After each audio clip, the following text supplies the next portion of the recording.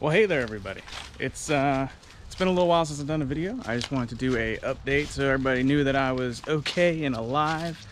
Um, it's been busy, and uh, if you remember from any of my videos about my chickens over here in this area, um, you'd recall that I had uh, 300 foot of wire fence that I'd put around their whole area so they could free range and they got eaten and so on and so forth. So um, still got my two chickens, they're doing fine. Um, and I showed in another video how I expanded um, a run for them for real cheap. And um, so check that out if you haven't, like a hundred bucks and it gives them a bunch more room. I'm gonna do one more expansion and then I'm gonna get two more chickens, but it's not why I'm doing this video. I just wanted to say what's up to everybody and show y'all kind of what I'm doing. So I've taken down that 300 foot of fence, which was um, anchored with T-posts every 10 feet, six feet or so.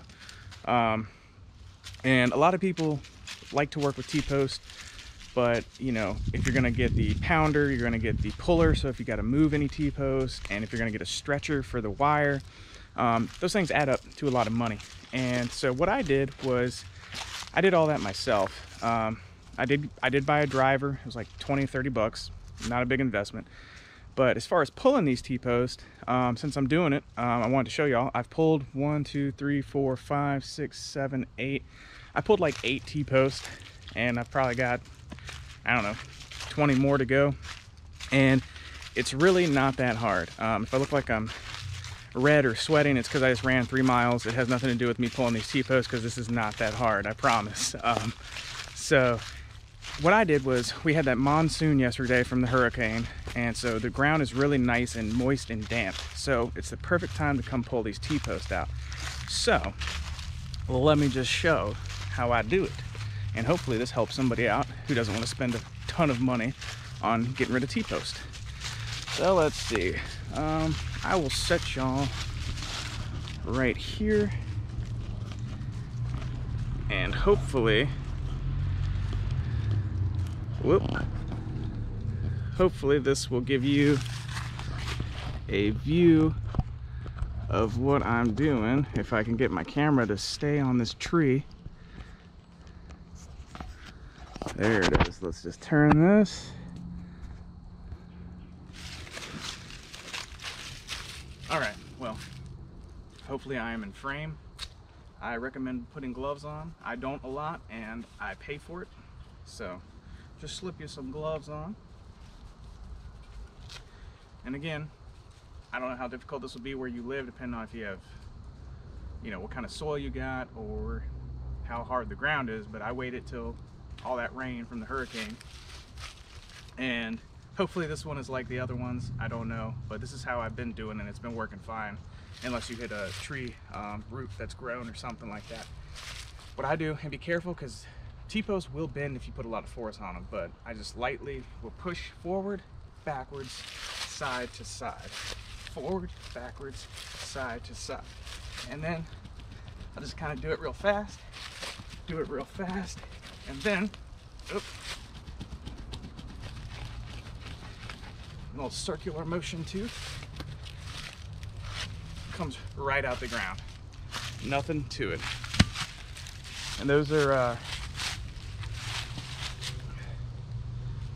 five foot T-posts that were about a foot and a half to uh, 18 inches in the ground. So it can definitely be done without a puller. Um, I know people have fabricated all kinds of pullers out of 2x4s and chain and rope. You can look those up on YouTube if you want. Um, plenty of options if you don't feel like doing it manually like that. But um, I mean, that worked fine. And so far, all the ones I've done, like it would take longer to set up a puller and pull them out the ground than it takes for me just to do that. So that's how I'm gonna do the rest of these and it should go as smoothly, I hope. Um, so wish me luck. But I haven't run into any problem except for one root that was going across the, uh, the blade on it. And so I just had to work around it. I mean, no big deal. Um, so, and then as far as a stretcher, honestly, what I did was I just took a two by four that was about four foot long. Um, it was eight foot, cut in half, made two, two pieces that were four foot long. And then I just took uh, nut bolts and two washers on the outsides and I just literally sandwiched my um, my fencing in between the two 2x4s, sandwiched them in there, put my nut and bolts on, tightened it down real good, and then I had um, a rope uh, attached. I had a rope attached. Um, I had a rope attached to the top and bottom of my 2x4, so it came at an angle, and then attached a um, come along or pulley system, whatever you can come up with, ratchet system to attach that around a tree, and then just pulley it, stretch it, and then I attach it to my T-post. But on this one, I'm not bothering with stretching it. Um, I'm stretching it by hand um, while I'm wiring it in, but uh, I'm not stretching it. It's not gonna be used for anything load bearing. It's not gonna be used for cattle or sheep or anything like that. It's just, mainly what I'm doing is I'm just sectioning off the main part of my backyard, like my immediate backyard around my house, so that I can let my dog out on the back porch. He can do his thing out in the yard, and I don't have to worry about keeping an eye on him, because if you know Charles, he likes to uh, follow his nose and explore the neighborhood a little bit. Um, and so the other neighbors have a dog and I don't really trust it. So I don't really want him ending up over there and in a dog fight and I gotta go smack somebody around. Just kidding, but no, I'm not. Anywho, um, so that's what we're doing. That's what we're up to. As you can see, I haven't shaved in a long time. And this is me sh not shaving for a long time. For me, uh, this is all I can grow. Um, just grows in all white trashy Joe Dirt style. Um, I always said, well, maybe next year I'll be able to grow a beard. And uh, here I am, 31 years old, and this is what I can get. So I'm envious of you people that can grow beards at like 15. So be happy. But that's where I'm at. That's what I'm doing. That's what's going on. I'm going to do some uh, more videos here shortly um, on some things. I just needed to touch base with everybody real quick while I was in the midst of some yard work. And, uh, oh, FYI, I got three white eggs in my house from my chickens. If you ever notice your chickens laying white eggs, it will panic you at first. Uh, just be advised. Um, a lot of people are like, oh, that means your chickens have bronchitis, blah, blah, blah. Well, that's not necessarily true. Um, it also can come from stress, and that's what happened to my chicken. One of my chickens started laying white eggs for three days. Um, I was out here pulling down all this fencing and listening to copious amounts of metal and very loudly right by their chicken area and I didn't think about it when I did it. Very irresponsible chicken parenting on my part. Um, apparently my chickens don't like Iron Maiden. Um, whatever, you know, can't please everybody. But so that's the last step in a chicken production of their egg is the pigment being put into the egg. So if anything disrupts that at the end of the cycle, you know, that can cause it. Also, as people say, bronchitis can cause it, but my chickens are fine, they're healthy, nothing wrong with them.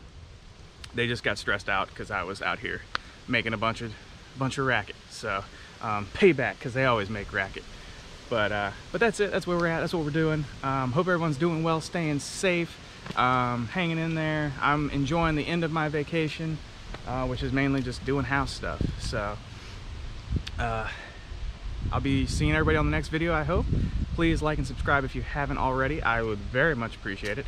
And I promise I will come out with some more content and I'm figuring out this whole editing process. So I'm gonna come up with some better videos and we'll be able to do some more things because I'll be able to compartmentalize and chop and clip and whatever those technical terms are you people use nowadays on the YouTube because I don't know, but uh, I'm figuring it out. And uh, thanks to uh, a lot of a lot of people I've met on YouTube um, have been very forthcoming and helpful trying to assist me with my technical endeavors and I very much appreciate that and the shout outs I've gotten on some channels.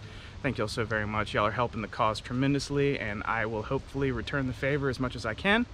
Um, so I'm not gonna get long-winded as I usually do um, so let me cut this now. So thanks stay safe and I'll catch y'all next time